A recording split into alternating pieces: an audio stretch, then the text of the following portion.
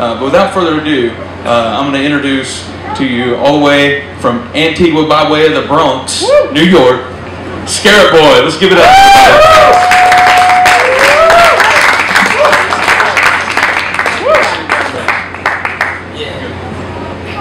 I'm actually not as amazing as he's claiming. yeah, he kind of like, so I'm like, who's that guy? Oh, that's, oh, really? But yeah, man, it's just like, it's just a pleasure to be here. Thank all of you for taking the time to just attend this, you know. I used to go to like secular festivals and whenever I heard like the speaking and the, the educational part, I'd be like, where, where? That way? Okay. you know, so it's like, if I was a kid, I would definitely be rock climbing instead of coming to listen to like, you know, us. you know, so I really appreciate the time that y'all took to spend with us. When my aunt passed, we didn't really have a home church. But one of the ladies that stayed in our house, she was from Trinidad and she always went to church. So her pastor came and you know he spoke to us and he like saw over the funeral and the way he spoke it wasn't like the other ministers because like when you grow up in the hood the most most of the ministers there's two type of ministers there's either like the catholic minister just like oh father you know or the the, the, the baptist minister like Wah! Wah! Wah! you know what i'm saying and like you know both had their time and place but when this guy spoke it was like i understood everything he was saying like I could relate to what he was saying. I could relate to where he was coming from, where he was at. And you know, I was like, oh, this is a pastor? Like, this dude is getting down. He's like a grown man. He's like in his 60s and you know, 50s, 60s. Old man. You know, when you're a kid, everybody old from they got gray hair.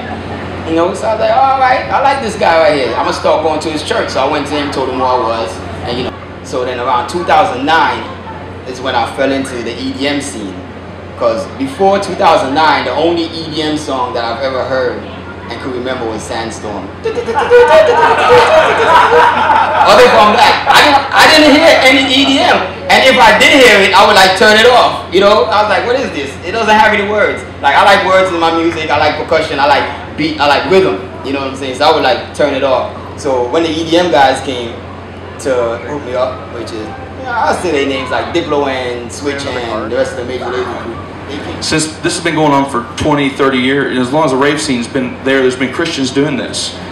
And, and got, just as the rave scene crept up, you know, just rose up, uh, so did Christians in this. Um, one of the things, you know, we've got a lot of, a lot of founding fathers, you know, that we owe, you know, a lot of gratitude uh, to because we wouldn't be here doing what we're doing today if they didn't pave the way. You know what I mean? So, so we give them respect, support one another. And sometimes it's just, hey, brother, I respect what you're doing. You know, we need to grab onto that because that's what's really going to grow this scene. Uh, and, I believe that we are at the door. We are at the threshold, you know, right now.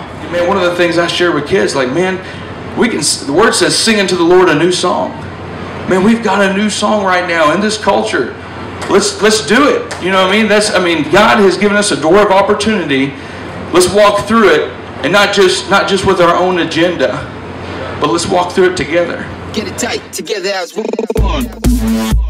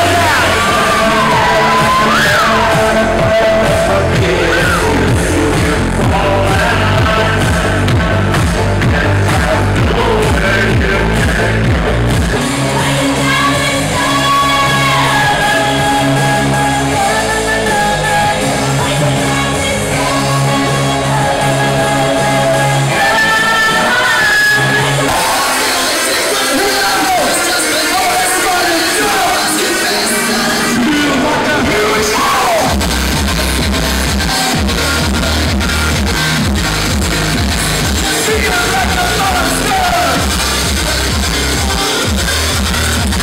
we go.